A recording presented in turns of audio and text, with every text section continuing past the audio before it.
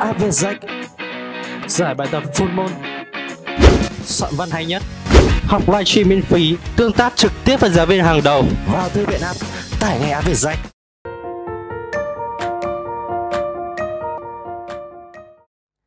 Hi xin chào tất cả các bạn, cô là Linh và hôm nay cô rất vui có thể tiếp tục đồng hành với các bạn trong những các video bài giảng trong chương trình Anh lớp 9 của chúng ta ngày hôm nay.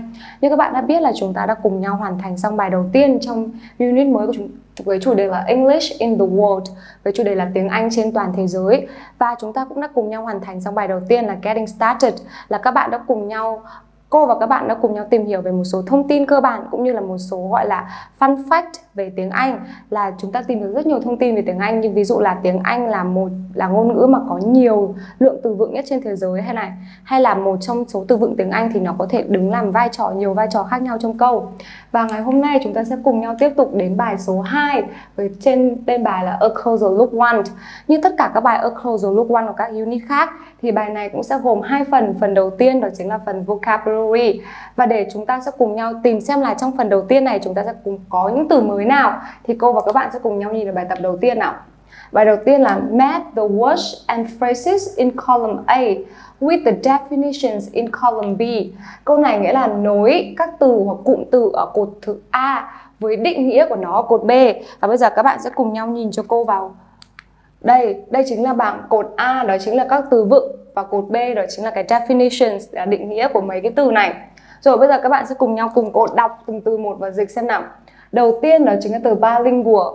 Cái từ này nó có nghĩa là song ngữ là khi các bạn có thể nói hai ngôn ngữ, nói tốt hai ngôn ngữ. Từ thứ hai đó là từ fluent. Cái từ này cô tin là đa số các bạn đều biết rồi đúng không? Nó là từ trôi chảy. Khi các bạn muốn nói là chúng ta trôi chảy là về một ngôn ngữ nào đó thì có nghĩa là chúng ta có thể nói được nó này, viết này, nghe này và đọc. Từ thứ ba là từ rusty.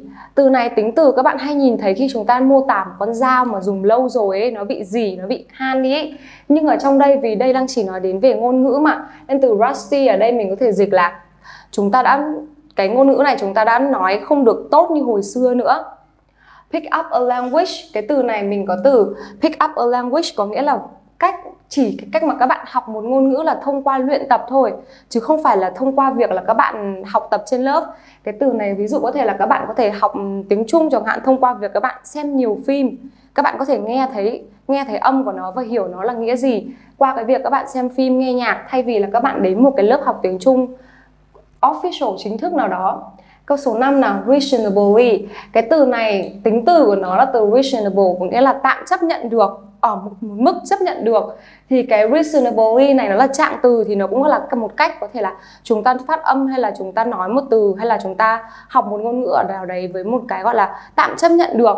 Không không quá tốt mà cũng không quá dở Câu số 6 là get by in a language có nghĩa là chúng ta get by in a language có nghĩa là chúng ta chỉ biết sơ sơ một hai từ thôi. Ví dụ như các bạn à, xem mấy bộ phim chẳng hạn thì các bạn biết sơ sơ một hai từ biết nói bắt nhại theo phim người ta nói cái gì thì lúc đấy mình sẽ nói là get by in a language có nghĩa là biết sơ sơ một chút thôi. Rồi, đây là tất cả các từ vựng ngày hôm nay chúng ta cần phải tìm định nghĩa và đây cột B này chính là cột definition là cột định nghĩa của chúng. Cô giúp các bạn sẽ cùng nhau dịch từ phần A đến F nào. Phần A là not as good not as good at language as you used to be because you have not used it for a long time. Câu này nghĩa là không còn tốt kiểu là không còn tốt về mặt ngôn ngữ như là chúng ta đã từng nữa bởi vì là chúng ta đã lâu lắm rồi không sử dụng để nó. Ý B nào, able to speak two languages equally well because you learned them at a try là có khả năng nói hai ngôn ngữ một cách gọi là tốt giống như nhau bởi vì là bạn đã học cái ngôn ngữ đấy từ khi còn bé. Ý said là know just enough of a language for simple communication là chỉ biết vừa đủ một chút về mặt ngôn ngữ về một từ đấy thôi chỉ để đủ cho việc giao tiếp cơ bản, giao tiếp đơn giản thôi. Ý đây là learn a language by practicing it rather than learning it in a class là việc học một ngôn ngữ mà học bằng cách chúng ta luyện tập nó thay vì là chúng ta tham gia một lớp học nào đấy. Ý E nào, able to speak, read or write a language easily, quickly and well. Là chúng ta có thể nói này, có thể đọc này, có thể viết một ngôn ngữ một cách dễ dàng, nhanh chóng và chính xác. Ý F là to a degree that is very good but not very good. Là đến một cái mức độ nào đó khá là tốt thôi nhưng không quá tốt. Rồi, đây chính là các cột từ vựng và các cột định nghĩa mà hôm nay chúng ta sẽ cần tìm và cần nối. Thì bây giờ cô và các bạn sẽ cùng nhau đến với đáp án của bài này nào. Ok, từ đầu tiên từ bilingual là từ song ngữ thì chúng ta có thể đi ghép với câu là able to speak two languages equally well because you learned them at a try. Là song ngữ là việc thể hiện cái việc là các bạn có thể nói hai ngôn ngữ cùng một lúc mà nói tốt hai ngôn ngữ cùng một lúc bởi vì là các bạn đã học cái ngôn ngữ thứ hai ấy.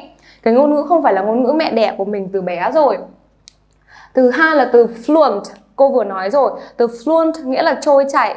Thì nó có thể nối với từ able to speak, read or write a language easily, quickly and well. Là là cái khả năng mà các bạn có thể vừa nói này, vừa viết này và vừa đọc một cái ngôn ngữ nào đó vừa dễ dàng, nhanh chóng và phải chính xác. Cái từ thứ ba là từ rusty là cô vừa nói đấy, cái từ này hay dùng để chỉ những con dao hay là những cái đồ gì để gọt mà. Để lâu không dùng thì nó bị han bị gì ấy. Trong việc ngôn ngữ thì nó có thể định, định được định nghĩa là not as good at a language as you used to be because you have not used it for a long time. Có nghĩa là chúng ta đã không cái việc mà sử dụng ngôn ngữ đấy nó không còn giỏi như chúng ta hồi trước nữa rồi vì vì lâu lắm rồi chúng ta không sử dụng tiếng đấy. Rồi cái này ví dụ như là việc các bạn để một con dâu, à sorry, con dao để quá lâu thì nó sẽ bị han gì và nó không còn sắc như đầu. Thì đây cũng vậy, việc mà chúng ta không luyện tập ngôn ngữ không luyện tập cái tiếng, học cái tiếng này cách sử dụng mà có, trong một khoảng thời gian dài mà không sử dụng thì chắc chắn nó sẽ không được tốt như hồi trước nữa. Ý thứ tư là pick up pick up a language, có nghĩa là việc học một cái, learn a language by practicing it rather than learning it in a class. Là chúng ta học một ngôn ngữ bằng cách luyện tập nó thường xuyên thay vì là học ở trên lớp. Rồi, reasonably là tạm chấp nhận được thì mình có thể nối nó với cụm từ nào? To a degree, that is fairly good, but not very good. Là ở một cái mức độ nào đó khá là tốt thôi, chứ không phải quá tốt. Rồi, get by in a language, có nghĩa là biết sơ sơ, biết một chút thôi á. Thì nó có thể nối với từ, cụm từ là cái definition, cái định nghĩa của nó là know just enough of a language for simple communication là chúng ta sẽ chỉ biết một chút từ vựng hoặc là một chút ngữ pháp chỉ để phục vụ đủ để phục vụ cho một cái cuộc hội thoại đơn giản mà thôi. Rồi, vừa rồi là bài A là chúng ta đã cùng nhau đi qua 6 từ vựng cũng như là cùng nhau tìm hiểu về 6 định nghĩa của nó. Và bây giờ để có thể luyện tập thêm về những từ vựng này để các bạn hiểu rõ hơn về cách dùng của nó thì chúng ta sẽ cùng nhau đến bài tập thứ hai nào. Ý hạ bài tập 2 chúng ta chia thành hai phần. Phần đầu tiên là phần 2A. Choose the correct words in the following phrase, phrases about language learning. Là chúng ta sẽ chọn những từ đúng trong các đoạn các cụm từ sau đây để nói về cái việc học một ngôn ngữ. Và các bạn thấy ở đây người ta chọn từ là đa số là chọn gì nhỉ? In và at này on và at này to và by at in of with. Loại từ của nó đa số là giới từ. Và nhiệm vụ của các bạn bây giờ là chúng ta phải chọn những cái giới từ để có thể đi cùng với những cái tính từ ở dưới đây hoặc các từ ở chỗ này ví dụ, câu đầu tiên, cô và các bạn sẽ cùng nhau làm lần lượt từng câu một nào. Câu đầu tiên là be bilingual, dot dot dot, the language. Có nghĩa là cái từ bilingual, tính từ bilingual là từ song ngữ này. Nó sẽ đi với giới từ in hay giới từ at. Là các bạn, khi mà mình muốn nói là chúng ta có thể, gọi là, học song ngữ có khả năng nói hai thứ tiếng ở một ngôn ngữ nào đó, thì chúng ta sẽ nói là bilingual in the language nên thì vậy giới từ mình có cấu trúc là be bilingual in something, là có thể nói song ngữ ở tiếng, có thể có khả năng nói song ngữ. Rồi đến câu số 2 nào. Be reasonably good on or at the language. Cái câu này thì đơn giản hơn rồi, là khá là tốt về mặt ngôn ngữ. Thì bây giờ chúng ta phải tìm hiểu xem là cái tính từ good này nó đi với giới từ gì? Đi với từ on hay at? Và cô nghĩ là đa số các bạn đều biết câu trả lời của cái này rồi, bởi vì mình có một cấu trúc mà chúng ta rất là hay gặp, đó chính là cấu trúc be good at something. Các bạn nhớ nhá, be good at something có nghĩa là tốt cái gì, các bạn giỏi cái gì. Ví dụ mình nói là I am good at English, có nghĩa là tôi học giỏi tiếng Anh này. I am good at math là tôi học giỏi toán, thì ở đây cũng vậy. Mình có thể nói là I am good at the language là tớ học giỏi về mặt ngôn ngữ. Thì vậy câu đáp án này sẽ là từ at. Rồi can get that to or bite in a language cái câu này là ngay cái bài vừa rồi mình vừa học rồi đấy nhở cái cấu trúc mà biết sơ sơ một thứ tiếng nào đó đó chính là can get bite in the language là biết sơ sơ một chút Rồi đến câu số 4 nào. Be fluent, be fluent là trôi chảy về một ngôn ngữ nào đó thì các bạn ở đây người ta có hai giới từ cho các bạn lựa chọn. Giới từ đầu tiên đó là at và giới từ thứ hai đó là in. Bây giờ việc mà chúng ta nói trôi chảy một ngôn ngữ nào đó thì các bạn nghĩ xem là mình sẽ đi giới từ at hay giới từ in nhỉ? Và đáp án ở đây đó chính là giới từ in.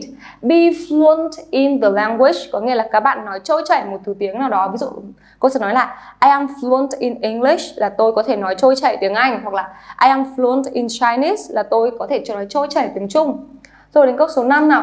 I can speak a word of or with the language là tôi không thể nói ra một từ cái, cái ngôn ngữ đấy nghĩa là cái tiếng đấy thì mình không biết từ nào ấy. Thì bây giờ nó sẽ cho các bạn hai cái sorry hai cái giới từ là of và with. Thì bây giờ nhiệm vụ các bạn là các bạn phải tìm xem nào. Can speak a word of hay là a word with? Và đáp án ở đây của chúng ta đó chính là can speak a word of the language là không nói không thể nói được một từ của tiếng nào. Ví dụ cô nói là I can speak a word of English là tôi không biết thể nói một từ tiếng Anh nào cả. Nói thế thì hoặc là I can speak a word of Chinese là tôi không biết từ tiếng Trung nào cả. Rồi đến câu số 6 nào. Can speak the language but is either a lot a, a lot hoặc là a bit rusty rồi bây giờ các bạn sẽ là có thể nói một chút ngôn ngữ, có nghĩa là các bạn có thể nói được cái ngôn ngữ đấy một, có thể nói được ngôn ngữ đấy nhưng mà nó không còn được giỏi như trước nữa. Thì chỗ này mình sẽ dùng từ a lot hay là a bit. Thì ở đây đáp án ở đây chính là a bit rusty, là một chút gọi là không không còn được như xưa nữa. Câu số 7 nào? Pick up or of a bit of the language on holiday. Đây là các bạn có thể là luyện tập được một số kiểu Câu này có nghĩa là khi mà chúng ta đi du lịch ở một, một nơi nào đó ấy thì chúng ta thường sẽ là có phải giao tiếp với những người dân địa phương ở đấy đúng không? Thì câu số 7 này ý là nghĩa là chúng ta có thể học được một chút ngôn ngữ của cái địa, địa phương đấy bằng trong những cái kỳ nghỉ của mình. Thì câu số 7 này ở đây mình sẽ điền là pick gì nhỉ? Trong cái câu này đấy, pick up a language là chúng ta có thể học học được một chút những cái từ vựng hay là những cái cách phát âm của một ngôn ngữ nào đó mà trong một kỳ nghỉ mà chúng ta đi ra nước ngoài hoặc đi ra một địa điểm khác. Rồi, vừa rồi đấy chính là bài tập số 2A là giúp các bạn tìm ra được những cái giới từ gọi là thường xuyên đi với những cái tinh từ đấy. Ví dụ như từ bilingual nó sẽ thường đi với giới từ in hoặc là từ be fluent cũng là đi với từ in hoặc là be good thì là be good at something là tốt về cái gì học giỏi cái gì hoặc là can speak a word of the language rồi và bây giờ có thể để cho giúp các bạn luyện tập lại cái giúp các bạn ôn tập lại nội dung cũng như là định nghĩa của các từ vựng và cách sử dụng các từ vựng này thì chúng ta sẽ cùng nhau đến bài tập 2B nào. Choose the phrase um, from 2A to make a sentences about yourself or people you know.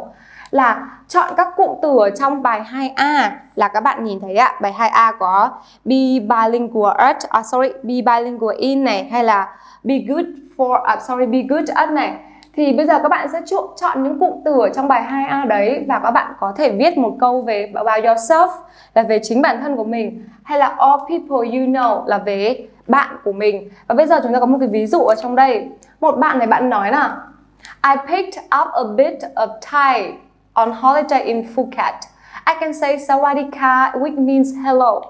Bạn này bạn nói là tớ có thể, tớ biết một chút tiếng Thái khi mà tớ đi nghỉ dưỡng ở Phuket và tớ có thể nói từ Sawadika trong tiếng Thái có nghĩa là xin chào. Rồi, bây giờ nhiệm vụ của mình là mình sẽ phải sử dụng các cụm từ như ví dụ bạn này, bạn đã sử dụng cụm từ pick up a little. Pick up là có pick up of Thai, có nghĩa là các bạn học được một chút tiếng Thái. Thì bây giờ nhiệm vụ của chúng ta sẽ cùng nhau làm là chọn các cụm từ ở trong bài 2A và viết một cái câu tương tự như thế này. Và bây giờ sẽ cùng nhau đến ví dụ mà cô viết nào và các bạn xem là trong ví dụ cô viết là cô đã chọn ra hai cụm từ nào trong bài 2A nhá. Rồi, cái câu đầu tiên nào. I can get by in Chinese after a three month course. I can say hello, thank you and some other basic words in Chinese. Là tôi có thể tôi biết được biết gọi là biết sơ sơ đấy ạ biết sơ sơ tiếng Trung sau một khóa học 3 tháng và bây giờ tôi có thể nói những từ là cảm ơn này, xin chào này và một số từ vựng đơn giản khác trong tiếng Trung. Các bạn thấy ở trong đây cô đã sử dụng cấu trúc là get by in the language có nghĩa là biết xương xương biết sơ sơ về một ngôn ngữ nào thì câu cấu trúc ở đây cô đã dùng là get by in. Rồi đến câu số 2 nào. My relatives are all bilingual in English and Vietnamese because they have studied since they were kids. Là những cái đứa gọi là hàng xóm, à sorry, là họ hàng của tôi ấy, thì đều là những đứa họ hàng, đứa trẻ của tôi. Thì đều là có khả năng nói song ngữ cả tiếng Anh và tiếng Việt, bởi vì chúng đã được học từ khi mà chúng còn là những đứa trẻ rồi. Và cấu trúc ở đây cô chọn đó chính là bilingual in, là song ngữ ở tiếng gì? Bilingual in English and Vietnamese nghĩa là vừa có thể nói tiếng Việt, vừa có thể nói tiếng Anh rất là tốt. Rồi, vừa rồi là cô đã lấy hai cụm từ để làm ví dụ cho các bạn, đó chính là cụm get by in và cụm be bilingual in và có đây còn còn lại là bốn bốn hoặc năm cụm từ nữa. Và các bạn có thể viết theo ý ý tưởng riêng của mình và việc sử dụng cụm từ này có thể rất là tốt cho các bạn trong việc các bạn trong những bài thi nói hoặc là bài thi viết chẳng hạn rồi và bây giờ chúng ta sẽ cùng nhau đến với vì còn nhiều có thể có nhiều từ vựng hơn nữa trong bài closer look one này và các bạn sẽ cùng nhau cùng cô đến với bài tập số 3 xem là chúng ta sẽ còn khám phá được thêm nhiều từ vựng nào hơn nữa nhé. Ok, bài tập số 3 đây là Match the words and phrases in the column A with the words and phrases in column B to make the expressions about language learning. Câu này nghĩa là chúng ta sẽ nối các cụm từ hoặc từ ở cột A với các cụm từ và từ ở cột B để có thể tạo ra một cái gọi là expression là một cái câu mà để nói về việc học ngôn ngữ của mình. Đầu tiên mình cô nhìn các bạn nhìn vào trong này có mình có từ vựng nào mới nhỉ? Know what a thì cái mình biết từ know ở đây nghĩa là biết rồi này. Have là có này, make là làm này. Guess ở đây nghĩa là đoán. Imitate từ này có thể là một từ hơi mới đối với các bạn. Từ imitate này đó chính là chúng ta gọi là bắt chước, nhại theo. Là bắt chước người cách người khác làm như thế nào đấy ạ. Translate from là dịch từ, dịch từ cái gì sang cái gì. Correct a nghĩa là sửa sai. Look up a watch. Cái từ look up này thì mình biết rồi là nó là từ tra cứu. Thì câu này mình có thể hiểu là tra cứu một từ. Rồi đến phần A này nào. Thì A này other speakers là những người nói khác này. The meaning of the words, cái từ meaning này nó có đồng nghĩa với từ definition của chúng ta đấy là nghĩa của một từ your first language có nghĩa là ngôn ngữ đầu tiên Mistake ở đây là lỗi lầm rồi. What means là một cái từ nó có nghĩa là gì? In a dictionary là trong cuốn từ điển này. Mistake là lỗi lầm. Bạn thấy đây một cái là mistake không thêm s và một cái là mistake thêm s thì thì có nghĩa là trước từ mistake này chúng ta phải có một từ ơ hoặc ân ơ a mistake rồi đến an accent là có cái ngữ điệu rồi đây chỉ là những cái từ và nhiệm vụ của chúng ta đó chính là phải ghép làm sao các từ ở cột A nối với các từ ở cột B để có thể tạo thành một câu hoàn chỉnh, một câu có nghĩa để thể hiện về cái việc là language learning là về việc học ngôn ngữ. Rồi vậy cô và các bạn sẽ cùng nhau làm thử bài này nào. Từ đầu tiên đó chính là từ know thì đi với what a word means. Là chúng ta biết là một từ nghĩa là như thế nào thì bạn sẽ cùng có, có một cụm là know what a word means. Thì mình các bạn có thể nói câu này là I don't know what this word means. Là tôi không biết cái từ này nghĩa là gì cả. Thì các bạn chú ý cho cô đến câu số 2 là từ have. Thì các bạn đây mình có thấy từ have thì have cái gì nhỉ? Have mistake cũng được có lỗi sai cũng được. Have uh, have an accent là có cái ngữ điệu. Thì câu số 2 này mình đi đúng nhất đó chính là have an accent, là có ngữ điệu như cô nói đấy. cái ngữ điệu này là người ta có thể nghe ngữ điệu các bạn nói mà có thể đoán được là các bạn đến từ quốc gia nào, đến từ vùng đất hay là vùng địa phương nào. Trong tiếng Anh chúng ta có rất nhiều accent khác nhau, có rất nhiều ngữ điệu. Ví dụ như có tiếng Anh Anh này, tiếng Anh Mỹ này tiếng Anh Úc này hoặc tiếng Anh Ấn này. Và thậm chí chúng ta vẫn có thể nói theo kiểu Vietnamese accent, là nói tiếng Anh theo ngữ điệu của người Việt. Và mỗi một quốc gia đều có một cái accent khác nhau. Rồi đến câu số 3 nào, make. Ở đây là gây ra cái gì? Và trong đây duy nhất có một từ thôi. Đó là make mistake, là gây ra lỗi lầm. Nhưng mà quan trọng ở đây đó chính là cái từ mistake, nó có thêm s hay không thêm s. Các bạn nhìn vào trong đây nào. Từ make ở đây, sau từ make nó không có một từ ơ make a mistake thì là gây ra một lỗi lầm thì trong đây nó chỉ là một cái từ make không thôi nên là vì vậy từ mistake ở đằng sau nó phải là từ, một danh từ số nhiều, nghĩa là make mistakes, là gây ra lỗi lầm, gây ra nhiều lỗi lầm, có mắc sai rồi đến câu số 4 guess là đoán. Đoán thì chúng ta đoán sẽ đoán cái gì nhỉ? Guess the meaning of a word là đoán nghĩa của một từ. rồi đến câu số 4 là imitate là bắt trước cái gì? Và bây giờ chúng ta bắt trước thì chúng ta không thể nói là bắt trước in the dictionary là bắt trước trong từ điển được hay là bắt trước cái your first language là ngôn ngữ đầu tiên được. Mà duy nhất chúng ta có thể nói trong đây đó là imitate other speakers, là chúng ta bắt chước những người nói khác. Cái việc này rất là có ích trong việc khi các bạn học một ngôn ngữ. Chúng ta nghe người ta nói xong người ta bắt chúng ta bắt trước lại theo cái cách người ta phát âm từ đấy này, bắt trước ngữ điệu này để có thể một một cách natural, một cách tự nhiên nhất sức nhất hết sức có thể. Từ đến câu 6 có từ translate là dịch từ translate from là dịch từ cái gì? Và cái quan từ chúng ta sẽ đi với translate from your first language có nghĩa là chúng ta dịch từ cái ngôn ngữ đầu tiên của chúng ta ra. Ví dụ các bạn thường có một thói quen đó chính là khi muốn nói một câu tiếng Anh nào đó thì các bạn sẽ thường nghĩ tiếng Việt trước. Và các bạn translate from Vietnamese into the into English. Là các bạn thường sẽ dịch từ tiếng Việt sang tiếng Anh. Thì đây cũng vậy, câu này nghĩa là chúng ta sẽ thường xuyên là dịch từ cái ngôn ngữ đầu tiên của chúng ta đến. Rồi đến từ từ câu số 7 là correct ở là sửa một cái gì đấy.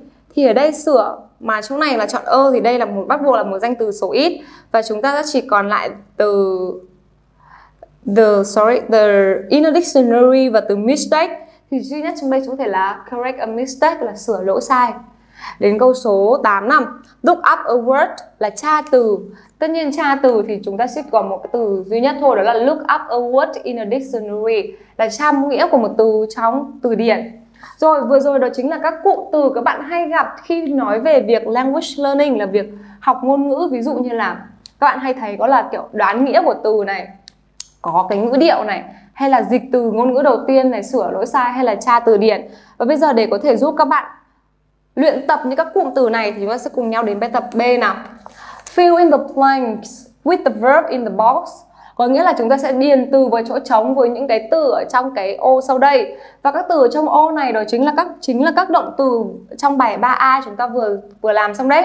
Guess là đoán này, know là biết này, have là có này, make là làm này, gây ra này, translate là dịch, correct là sửa lỗi sai, imitate là bắt chước look up và tra từ điển.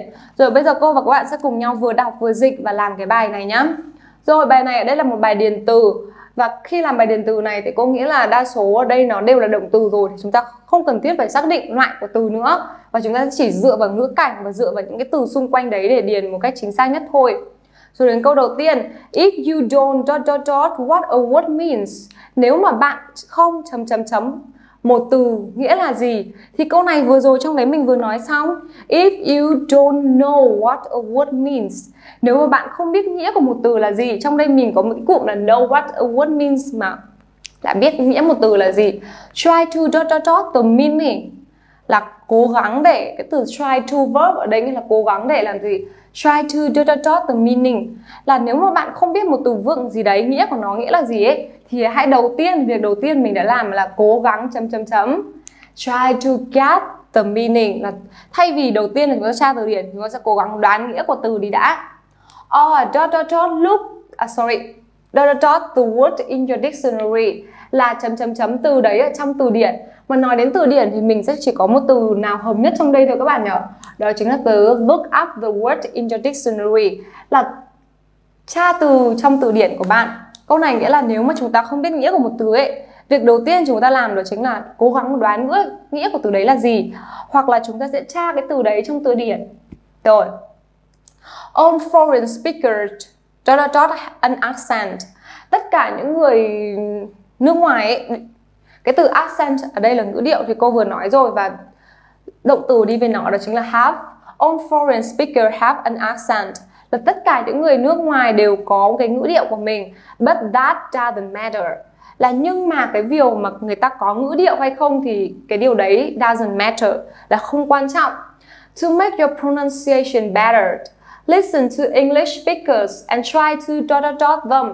Để mà giúp các bạn cải thiện được cái phát âm của mình ấy, đầu tiên là hãy nghe những người nói tiếng Anh, người bản địa and try to và cố gắng chấm chấm chấm làm theo họ. Cái việc này là cái cách học này cô vừa nói rồi đấy, là khi mà chúng ta học tiếng Anh, chúng ta sẽ nghe một đoạn audio hoặc là bạn video của một người nói cái gì đó. Chúng ta nghe xong rồi chúng ta sẽ cố gắng làm sao nhỉ imitate là cố gắng bắt chước họ, bắt chước cách họ, nhấn nhá câu này, bắt chước cách họ, gọi là phát âm từng, từ một.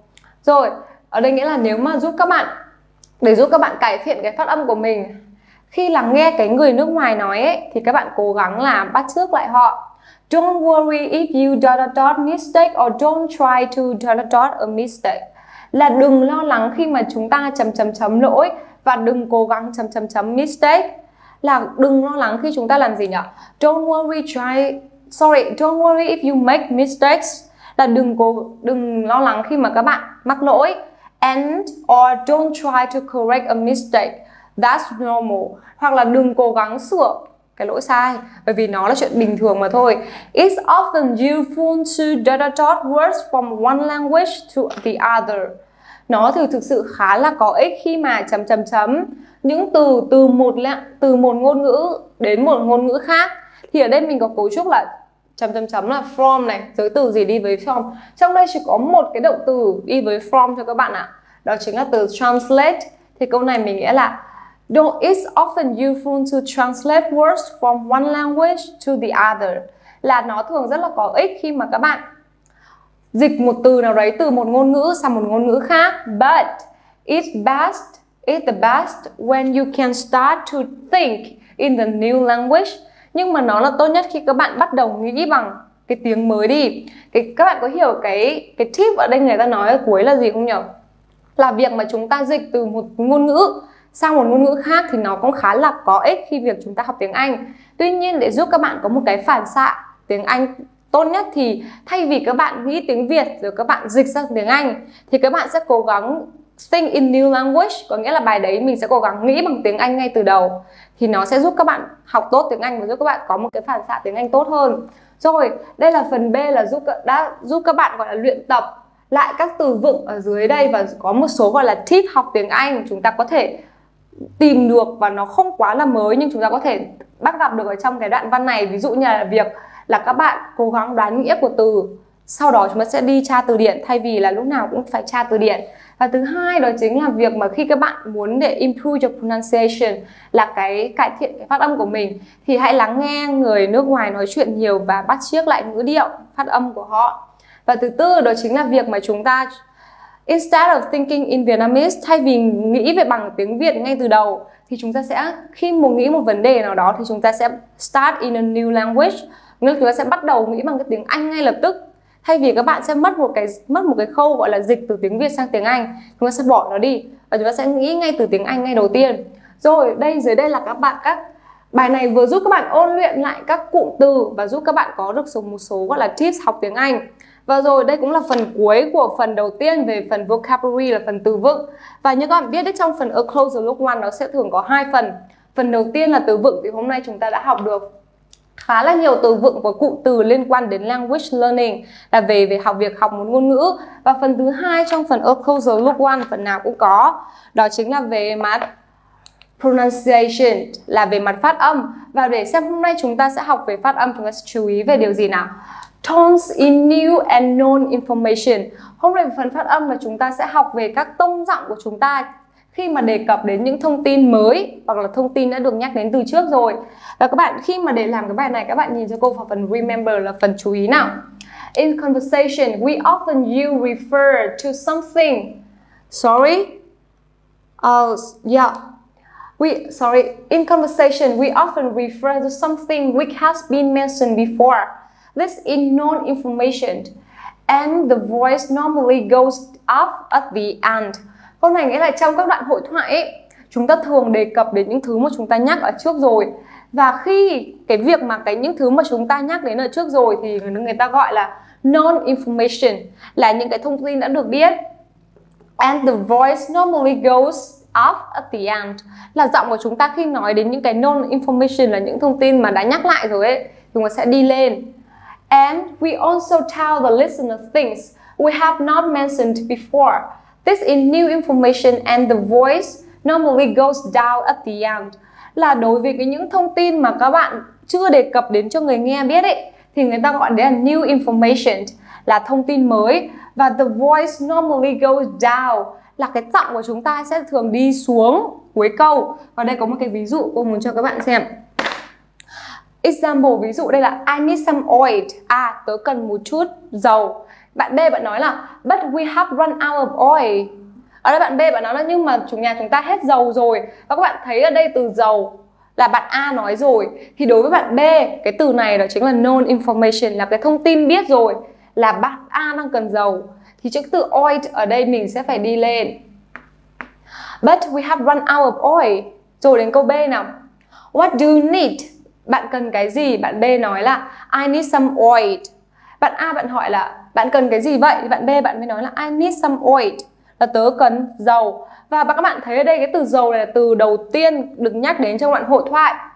Và quan trọng hơn nữa là bạn A, bạn ấy không hề biết đến việc cái từ cái từ này, cái danh từ này, cái việc mà bạn B cần dầu trước. Nên vì vậy, cái chỗ này mình sẽ làm một goes down. Vì nó đây chính là cái khi mà cái từ trong ý A là người ta ví dụ cho known information là những cái thông tin đã được biết trước từ rồi.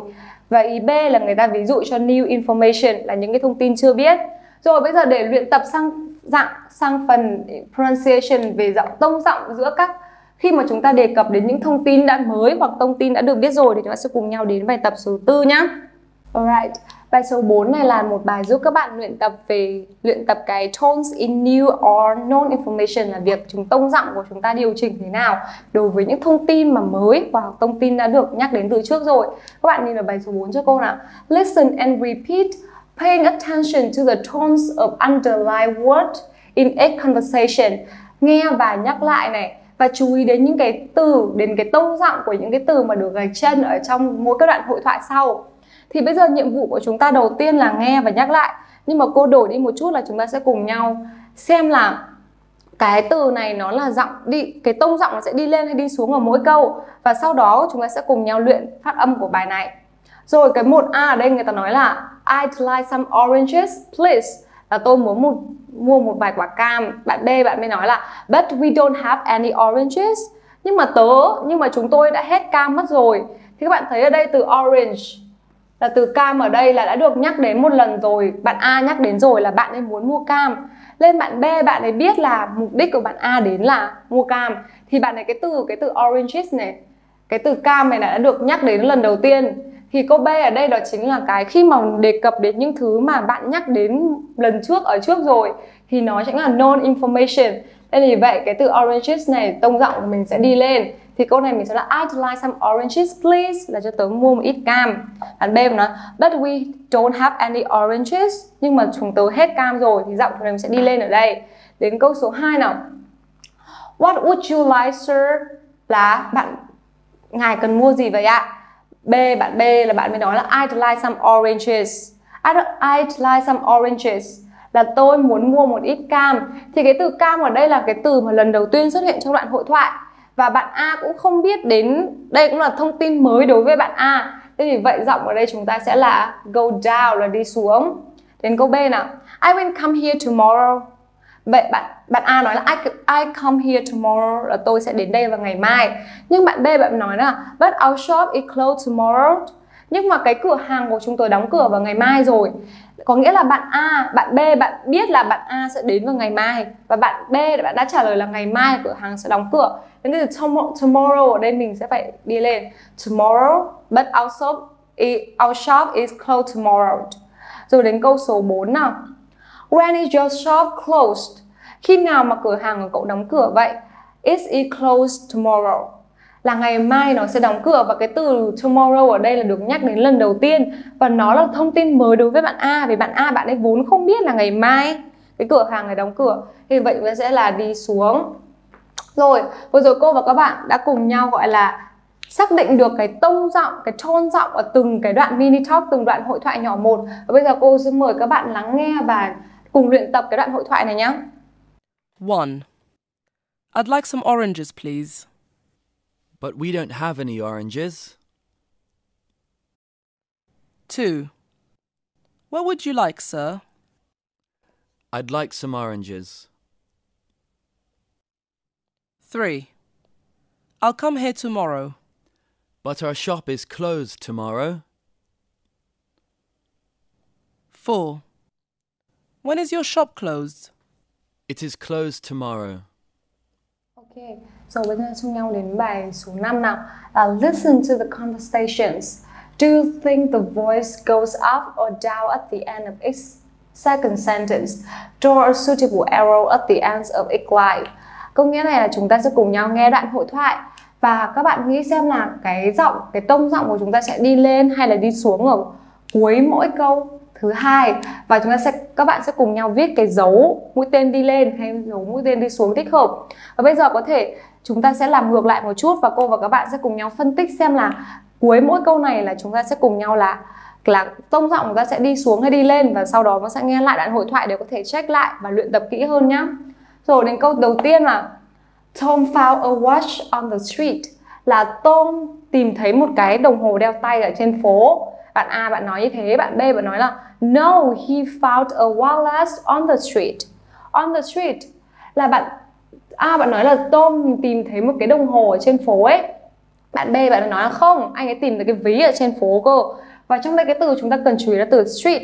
Và các bạn thấy ở đây cái từ street này nó được nhắc lại một lần rồi, có nghĩa là cả bạn A và bạn B đều biết là bạn Tom tìm thấy cái gì đấy ở trên phố. Và đấy là chính là known information, là những thông tin được biết rồi. Nên từ street ở đây chúng ta sẽ là một đi lên. Là no, he found a wallet on the street.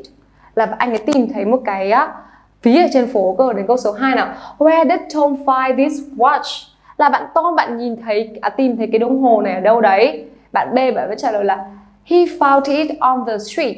Là anh ấy tìm thấy nó ở trên con phố cái đường này.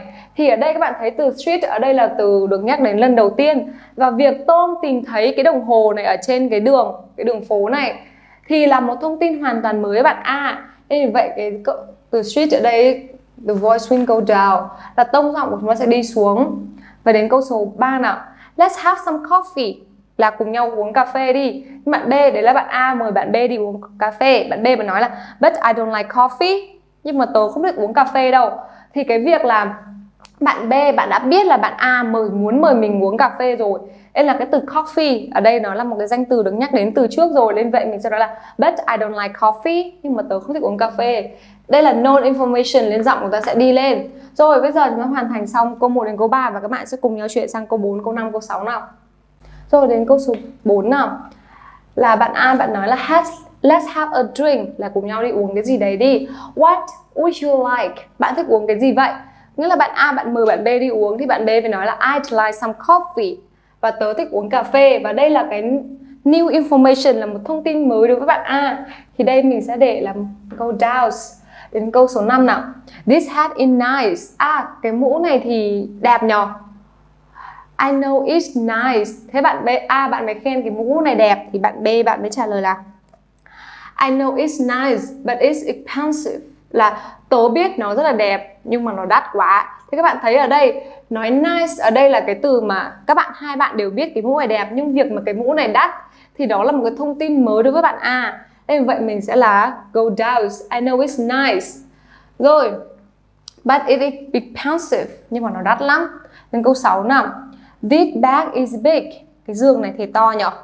Bạn A, bạn nói như thế, bạn B, bạn nói là, I know it's big. Tớ biết là to, nhưng but that's one bigger.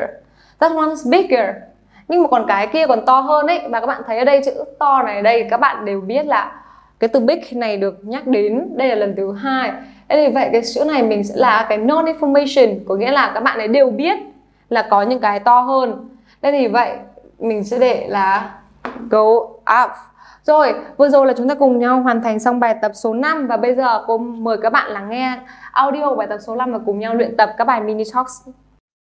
1. Tom found a watch on the street. No, he found a wallet on the street. 2. Where did Tom find this watch? He found it on the street. 3. Let's have some coffee. But I don't like coffee. 4. Let's have a drink. What would you like? I'd like some coffee. 5. This hat is nice. I know it's nice, but it's expensive. 6. This bed is big. I know it's big, but that one's bigger. Alright, bây giờ chúng ta sẽ cùng nhau đến bài tập số 6 nào, bài tập cuối cùng trong phần pronunciation ngày hôm nay là read the conversation. Does the voice go up or down on the underlined word? Draw a suitable arrow at the end of each line, then listen and check and repeat. Câu này nghĩa là bài này chúng ta sẽ có nhiệm vụ là đọc cái đoạn hội thoại sau đây. Và các bạn chú ý những từ mà khô in đậm ở đây. Và chúng ta xác định xem là tông giọng của chúng ta sẽ đi lên hay đi xuống ở dưới mỗi từ đấy. Và sau đó các bạn sẽ cùng nhau nghe lại đoạn audio và check xem chúng ta làm đúng hay không và luyện tập phát luyện nói lại cái đoạn hội thoại này. Rồi cô và các bạn sẽ cùng nhau để phân tích đoạn hội thoại nào ý A đầu tiên có trong đây nhân vật là bạn A và bạn B. Bạn A nói là, what make of TV shall we buy? Là chúng ta nên mua cái hãng TV nào nhỉ? Cái hãng TV nào chúng ta nên mua nhỉ? Bạn B bạn nói, let's go to Samsung. Là bạn B bảo là, đi mua TV Samsung đi. Và đây, cái TV Samsung ở đây đó là cái một cái gọi là thông tin mới đối với bạn A, vì bạn A chưa biết là nên mua cái gì cả. Nên vậy từ từ Samsung ở đây là new information là thông tin mới thì giọng chúng ta sẽ là go down, đi xuống. Sau khi nghe bạn A, bạn, sau khi bạn B nói là muốn mua Samsung, thì bạn A, bạn mới nói là, I think we should get a Sony. It's really nice. Là tớ nghĩ chúng ta nên đi mua TV hãng Sony bởi vì nó rất là tốt. Bạn B thì bạn ấy là, try to persuade A to buy a Samsung. Là bạn B đứng theo cương vị là bạn ấy thích TV Samsung hơn. Bạn ấy cố gắng nói để thuyết phục bạn A là cùng nhau cùng mua cái TV hãng cùng hãng của hãng Samsung. Bạn B bạn nói là, but the Samsung is nicer. But the Samsung is nicer. Nhưng mà TV Samsung thì còn tốt hơn ấy. Bạn thấy ở đây cái việc tốt thì đây ý là nói đến, là một thông tin không mới nữa. Nên vì vậy cái chữ nice ở đây mình sẽ là đi lên. Vì cả hai bạn đều biết là cái tivi Samsung tốt tốt hơn tốt hơn rồi à tốt rồi. Và việc bạn B bạn nói ý là cái tivi Samsung này thì tốt hơn cái tivi Sony kia nhưng bạn A bạn nói là but the Sony has a guarantee. Nhưng mà TV Sony thì có bảo hành. Thì bạn B bạn nói là they both have guarantee. Nhưng cả hai cái đấy đều có bảo hành cơ mà. Thì cái việc mà có bảo hành ở đây là cái mà cả hai bạn đều biết rồi. Thì lên vậy cái từ guarantee ở đây mình sẽ đi lên guarantee. They both have guarantee. Cả hai cái đều có bảo hành cơ mà. Ok, sau khi nói là cả hai cái loại cái hãng cái hãng TV này đều có bảo hành thì bạn A bạn mới hỏi là how much is the Sony? Là Sony thì đáng bao nhiêu tiền? Bạn B vẫn trả lời là It's two, à sorry, it's 600 dollars là nó tốn hết 600 đô và cái từ 600 đô ở đây các bạn thấy nó là tính cái thông tin mới hay thông tin cũ đối với bạn A nhỉ? đó chính là thông tin mới đối với bạn A vì bạn A bạn ấy không biết là cái TV Sony này bao nhiêu tiền nên vì vậy cái thông tin mới đây chúng ta sẽ là go down it is 600 dollars. Bạn A, bạn mới nói là sau khi biết tin, it's too expensive. Nó đắt quá. Cái thông tin này cũng là một thông tin mới đối với bạn A. Nên vì vậy, mình vẫn là go down, đi xuống. Bạn B, bạn nói là, I know it's expensive. À tớ biết nó đắt, but it's better quality. But it's a better quality. Nhưng mà nó lại, chất lượng nó lại tốt hơn. Và các bạn thấy đây, từ quality ở đây. Các bạn ấy là tại cái từ cả hai cả hai bạn đều biết là TV Sony và TV Samsung. Nó đều rất là tốt, có chất lượng rất là tốt. Nên vì vậy cái từ quality ở đây là một cái gọi là thông tin các bạn ấy đều đã biết hết rồi. Thì đây mình sẽ là they have better quality. Nhưng cả hai cái đấy rất là tốt hơn. Thế là bạn A là try to persuade B to buy a Sony. Bạn A, bạn đang cố gắng tìm thuyết phục bạn B là mua TV Sony thì bạn ấy nói là they are both of good quality nhưng cả hai cái đây đều có chất lượng tốt cơ mà và đây, cái từ quality ở đây nó cũng là non information nên là mình sẽ go up là giọng mình sẽ đi lên rồi, vừa rồi là cô và các bạn đã cùng nhau phân tích cái đoạn hội thoại và xác định được tông giọng của những từ in đậm và bây giờ cô mời các bạn nghe audio để cùng nhau chúng ta check lại ra và cùng nhau luyện tập đoạn hội thoại này nhé. What make of TV shall we buy? Let's get the Samsung. I think we should get the Sony. It's really nice. But the Samsung is nicer. But the Sony has a guarantee. They both have a guarantee. How much is the Sony? It's $600. It's too expensive. I know it's expensive, but it's of better quality. They're both of good quality? Alright, vừa rồi là chúng ta đã cùng nhau hoàn thành xong 6 bài tập cả về phần vocabulary and pronunciation là về cả phần ngữ từ vựng và phần phát âm và bây giờ chúng ta sẽ cùng nhau đến phần tổng kết để xem hôm nay các bạn học cái gì và chúng ta sẽ phải cần nhau ghi nhớ được cái gì sau bài học ngày hôm nay nhé. What have we learned today? Hôm nay chúng ta học cái gì? Đầu tiên đó là more words related to uh, to language learning là nhiều từ vựng liên quan đến cái chủ đề học ngôn ngữ hơn nữa. Và các bạn có thể thấy có những từ vựng ví dụ như là bilingual, fluent, pick up a language or get by in language. Và quan trọng hơn phần này đó là về pronunciation có nghĩa là tones in the new and known information là tông giọng của chúng ta khi mà chúng ta nói đến những cái thông tin đã biết hoặc là thông tin mới và trong cái phần này các bạn cũng đã biết thế nào là cái, thế nào mình được hiểu, như thế nào là non information và như thế nào là new information. Và các cô và các bạn đã cùng nhau hoàn, luyện tập các bài tập để cùng nhau xác định được khi nào chúng ta xác định được đấy, đó là thông tin mới, đấy là thông tin được nhắc đến rồi. Và chúng ta khi nào chúng ta nên goes the voice go down, khi nào giọng người ta đi đi xuống hay là khi nào giọng ta đi lên và rồi được đây cũng là phần cuối cùng của bài học ngày hôm nay và cô mong các bạn có thể ôn tập thật tốt và chuẩn bị thật tốt cho các bài học tiếp theo nhé. Xin chào các bạn hẹn gặp lại. Khóa học về rách. Sự lựa chọn của hàng triệu phụ huynh và học sinh. Trải nghiệm ngay khóa học của Vietjet